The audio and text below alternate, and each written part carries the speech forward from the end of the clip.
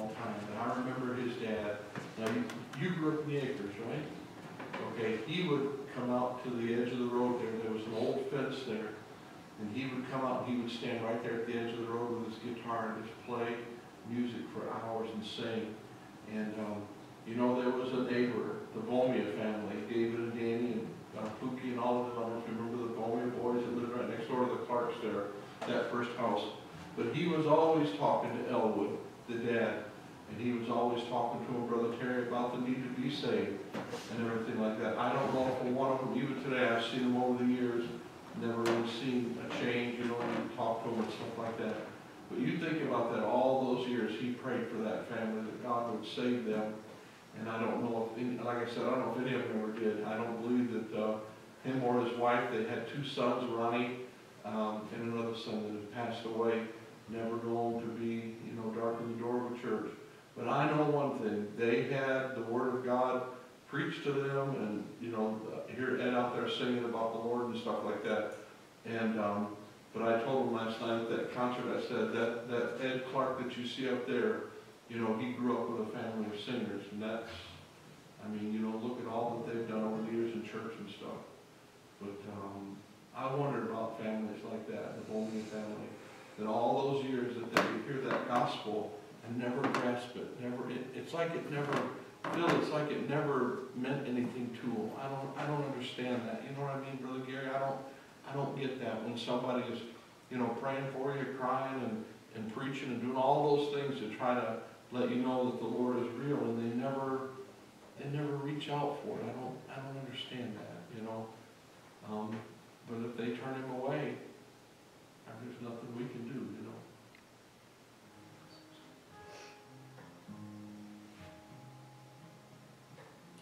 It's, uh, like we, brother read this morning, many from that time went back and followed when it got hard. You're talking about the greatest preacher ever walk the face of the earth one who created the earth was by the word of God, which became flesh. And yet people did not like what he was saying and went away from him. And it's hard to imagine. Your messages and people, they give their heart, their life. They bleed and sweat and, and, and, and die trying to get the word to people. And people still treat it as if it's yesterday's old ratted newspaper thrown away. One day, they'll do an account for it. Our work can be a testimony unto them or against them. We don't have a choice as to which it will be. But we do the best we can. Preach what God gives you to preach. Some God is not going to force them here to make that choice. Amen. me every Sunday with a smile.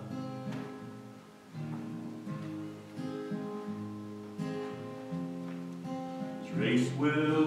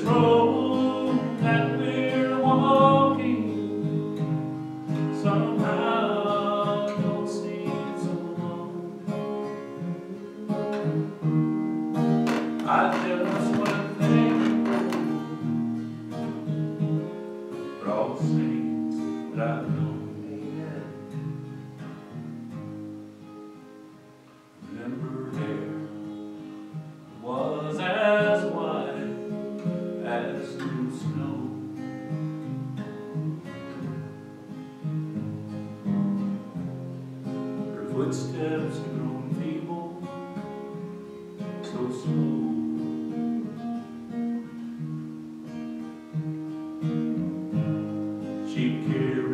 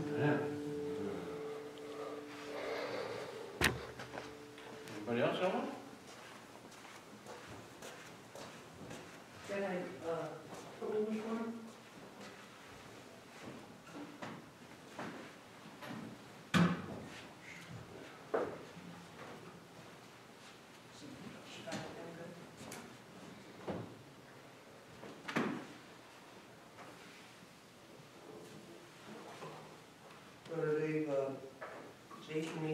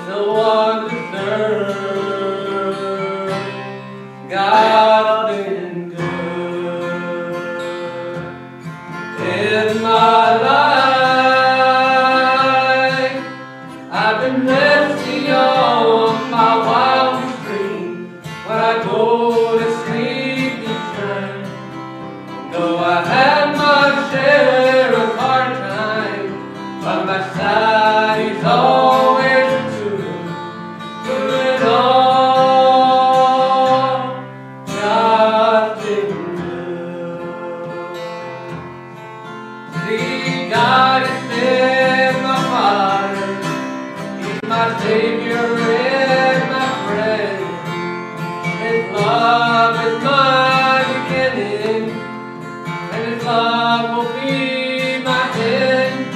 I can spend more.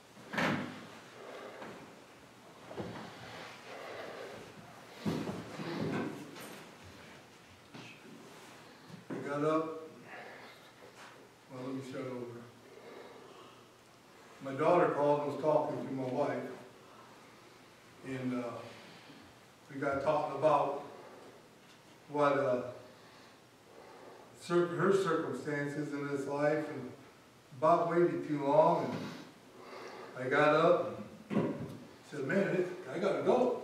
I gotta eat it.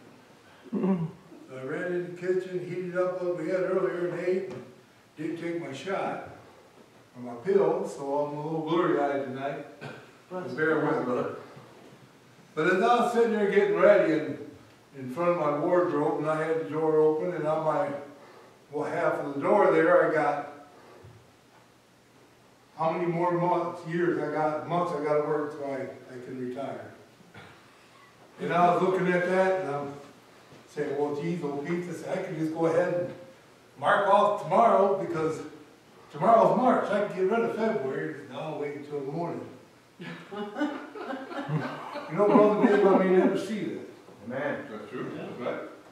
My plans that me and my wife are making is really funny, because Mr. Johnson talked this morning about having a camper. And our plans are, after I retire, to do some camping.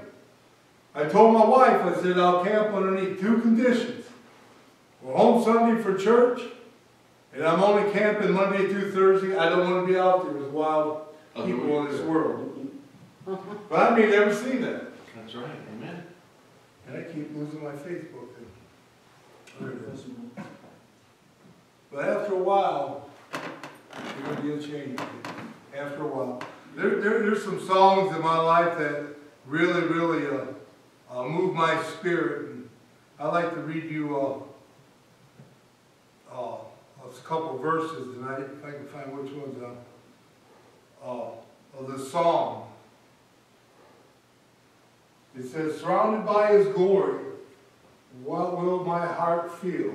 Will I dance for you, Jesus, or in awe will I be still? Will I stand in your presence, or to my knees will I fall? Will I sing hallelujah? Will I be able to speak at all? I can only imagine. I can only imagine when that day comes and I find myself standing in the sun. I can only imagine when all I, all, all, when all I will do is forever, ever worship you. I can only imagine. That's our dream, church. That's our promise. One day after a while, we're going home. Amen, amen. You know, and, and, and we're not going to be uh, uh, too bothered by the things of this world along the way, but uh, there are going to be some heartaches and troubles along the way in our walk. And just a little bit of word tonight to help with the church here tonight. And I want to read first out of Psalms 30, a, couple verses. It says, I will exalt thee, O Lord, for thou hast lifted me up and hast made my foes to rejoice and has not made my foes to rejoice over me. O Lord my God, I cry unto thee, and thou hast healed me. O Lord, thou hast brought up my soul from the grave and hast kept me alive, that I should not go down into the pit. Sing unto the Lord, ye saints, of his, and give thanks at the remembrance of his holiness. Amen tonight. We, we got one that uh, is going to stand beside us. Uh, no matter where we go, no matter what we do, uh, he's going to be right there with us. You know, sometimes I, I hear Brother Joey talk and I hear Brother Dave talk and about being picked on a little bit at work. you know, if you're a Christian, you're, you're going to be picked on a little bit. Yep. But you know, one day after a while, I plan on, matter of fact, it's four years and ten months. I can tell you right down to the month. Brother Dave's only got just a little while. And he's gonna, he's gonna step out of that place. And all the ones that made fun of Brother Dave when he was there, one day he's gonna say, boy, I wish Brother Dave was here so I could ask him this question. Yeah. Even though they made fun of him, even though they come along, they'll say, a little guy will come in and say, oh, we just lost this guy. He was a real doozy. We're glad he's gone. All he did was talk about Jesus. But there'll be a day that they'll remember the things that we've said to them. Amen. Amen. And how the love of God is shown through us to them. For our foes, even though they think they got the upper hand, we're a winner. We're a winner either way. Amen. I want to have a talk with Brother Neil uh, as soon as I can about being a winner either way. Amen. You're a winner now, and you'll be a winner when you enter into the kingdom. Amen. Amen. In a little while, it'll be so. Listen, Last time I preached, I was in Second Corinthians, and that's where we'll be tonight, in chapter 5. I'm going to read what it says in uh, chapter 4, the first verse. Therefore, seeing we have this ministry, we have received mercy, we faint not. Amen. Amen. There's a work for us to do, church.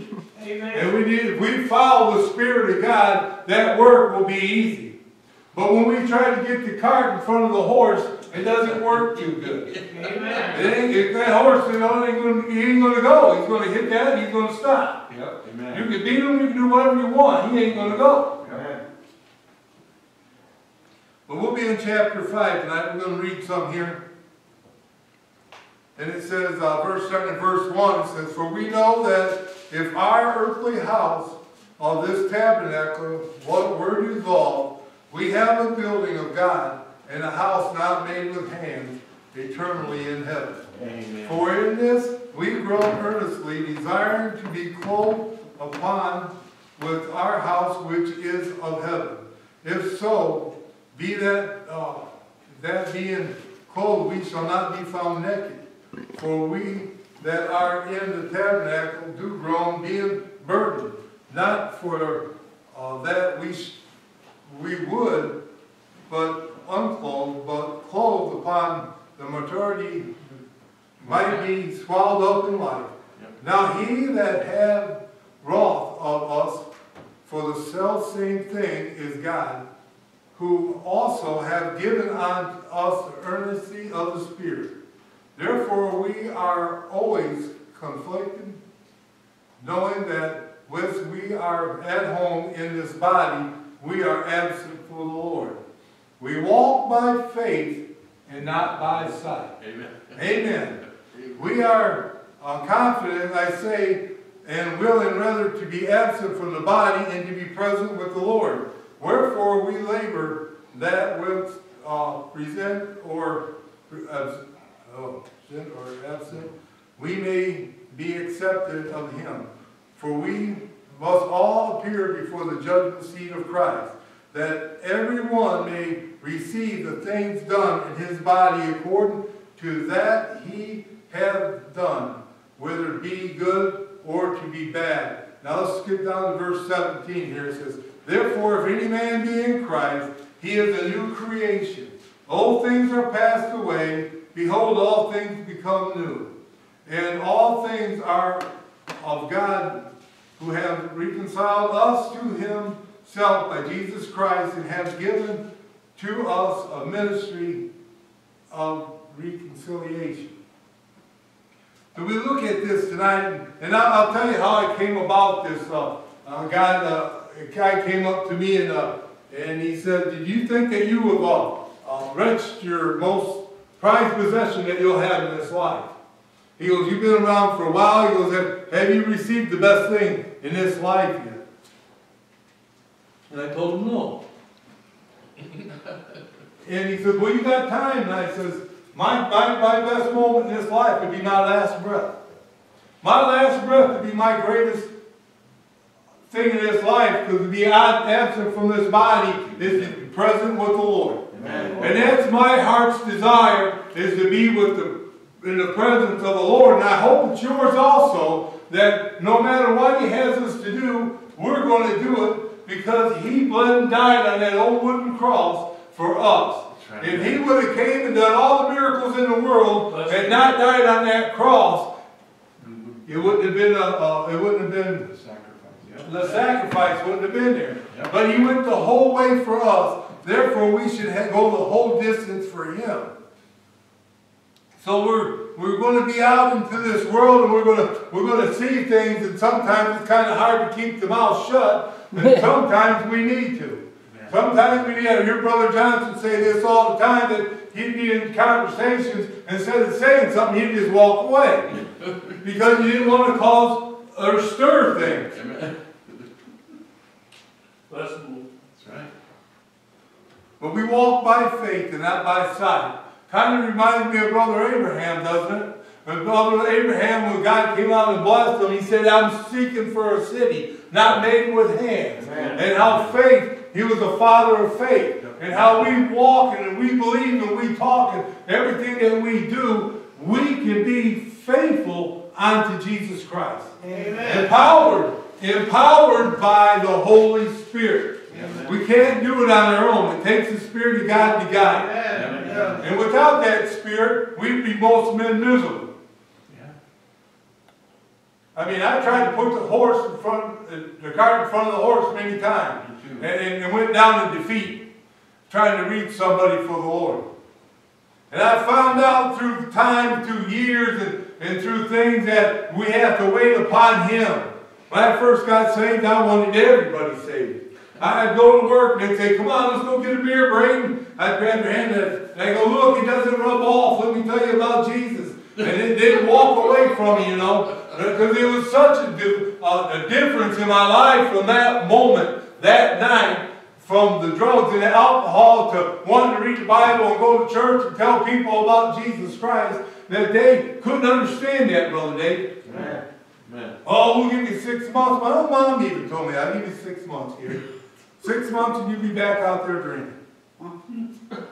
A year went by, I said, Mom, I'm still here. Amen. And when are you going to get in church, Mom? I believe I pray. I said, Mom, when are you going to get in church? When are you going to accept Christ? Anybody can believe and pray, but you got to accept Him into your heart. So we got a work to do. Family, work, people that we meet, uh, signing books, for example. You know, they got a little piece of Jesus when they talk to you. Yep. I know that. Amen. I know you.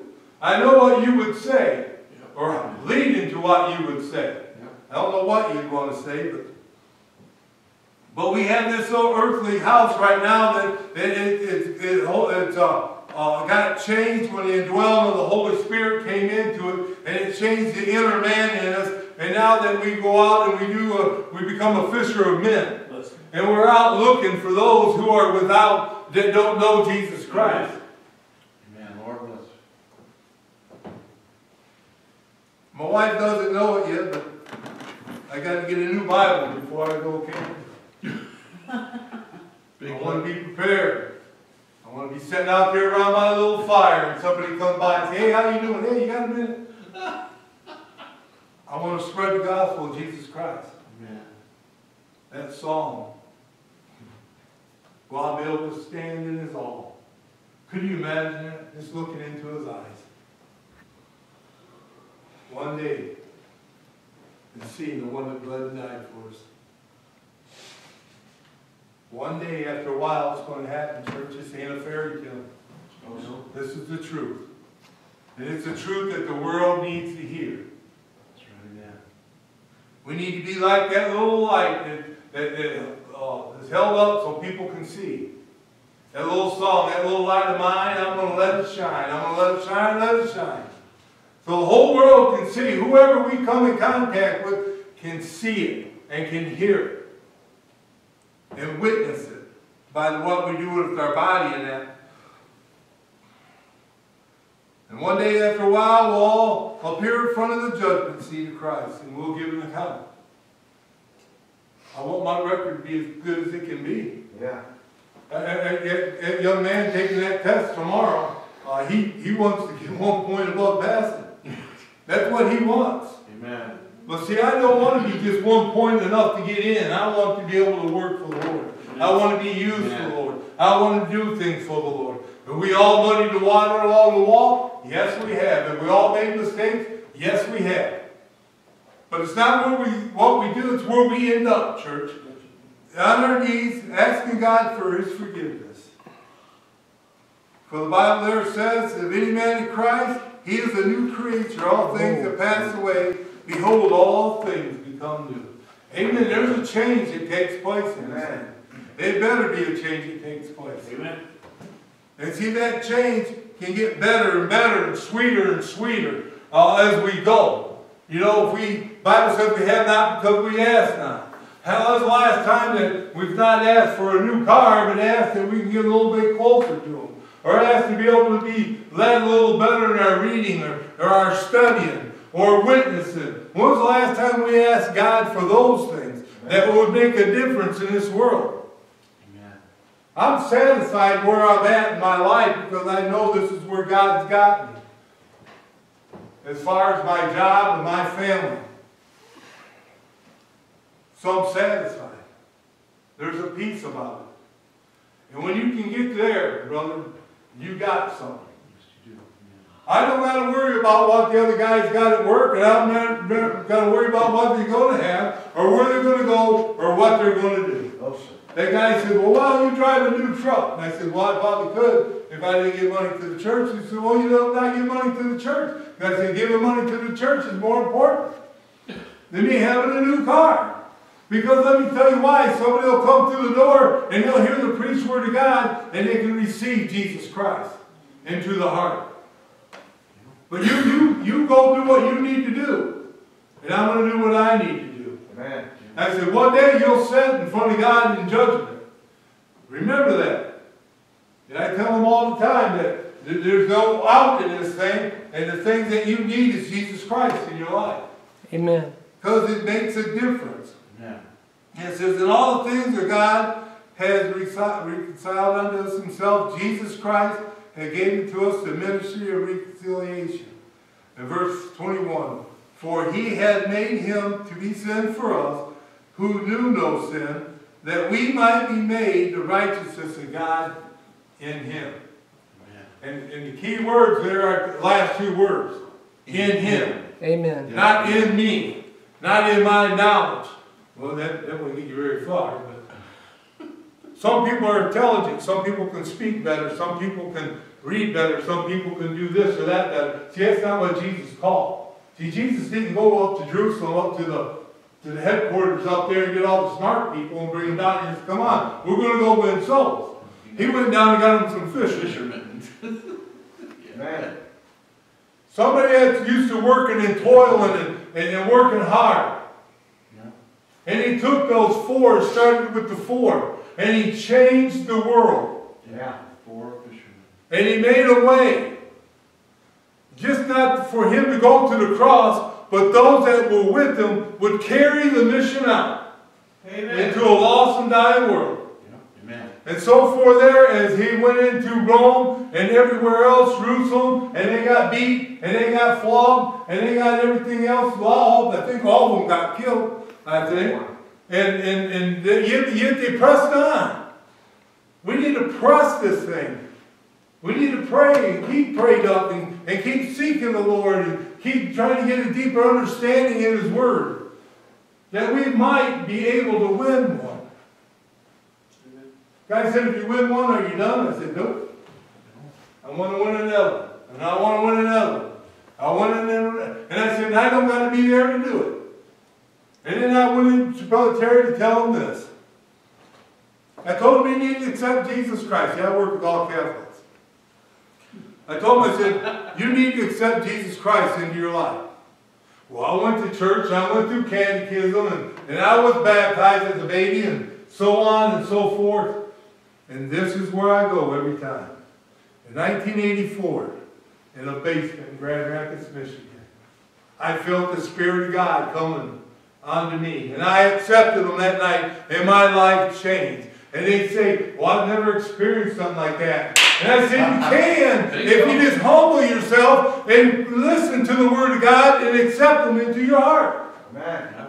Yeah. Work, work. We got to have a press, church, as we go forward. You know, we you sit at home and, and you read and you read and you read and, and, and you study and you ponder and, and you think of things to say, and then when you get up here, you know, they just you know, you, you forget most of it, you know, and when you sit down, you say, oh, I was going to say this, I was going to say that. Let me assure you this. If the blood's been applied, you're a new creature. And Jesus loves you. He will not let your foes overrun you. And I think he wants to meet you face to face as much as we want to meet him. Amen. He said he did. But there's a time and a place appointed for every man to die, then the judgment. Mm. Yeah. Amen. So let's not get weary, let's not get weak. I got family that need Jesus Christ. Me too. I, I- you know, and, and the thing is, you, sometimes you go out here and you make friends in this world, they're actually closer than your family. And the thing is, you love them and you want them to go to heaven. But yet you can't participate in the things that they do. There's a difference there. Yeah. So we gotta press, and we gotta press. Jesus went to that old rugged cross and took that beating and died on the cross for us. Shame on us. As we live in a country where you can want for nothing. The people in our streets got it better than most people throughout the world. And yet we can't give ourselves over enough to call upon him to increase us. Guy at work says, I got it all. I said, no, you don't. Left the most important thing out. He said, what? I said, that the Holy Spirit inside your body. I said, right now you're operating off your own, whatever you want to do, you're operating off that, and you're making good money, and, and you got this great, beautiful house, and your dad left you a million dollars, and you got all this, but it doesn't matter. I remember the Bible talking about a rich man, and he went to see Jesus, and, and Jesus said, But what have you done? He said, I've kept all this from all my youth all the way up. And Jesus told him to go sell what he had, and he left. Yeah, One thing, yeah, and he went away crying. because he had much, well, I'm glad I got the thing in this life that matters. Two things I'm glad I, one I know I got for sure, well, I I got both for sure, but one, I know I'm a child of God. Number two, I have a helpmate. People don't realize it's sweeter if your wife or your husband is a born-again Christian also. Amen. Because there's only certain things that you can talk to about with, with your wife and your husband.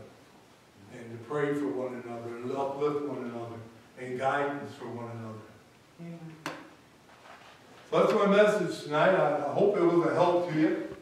That, uh, one day after a while, we're gonna leave these old fleshly bodies. And we're gonna go to a place where he's gonna say, welcome in, my good and faithful servant. And it will step into forever forever. And we won't have no worries about what we left behind. I know, I know my God's so great. I don't gotta be there with my kids. I- I Get back God. I don't gotta be there with my grandkids, except Jesus Christ. But I've been praying for it, and I've been praying for it, and I've been praying for it. And I believe when after I leave, those prayers will be answered. My God is awesome. He, he, he doesn't forget about our prayers, man, when we, when we die and go on. He don't forget. So let's keep pressing forward. Let's aim for the high mark. Let's light our candle. Let's be illuminated that people can see Jesus Christ. Not Terry, not Phil, not sister over there, the sister back there. But they can see Jesus Christ in us. Amen. They'll see the goodness and mercy of God through us if we allow Amen. With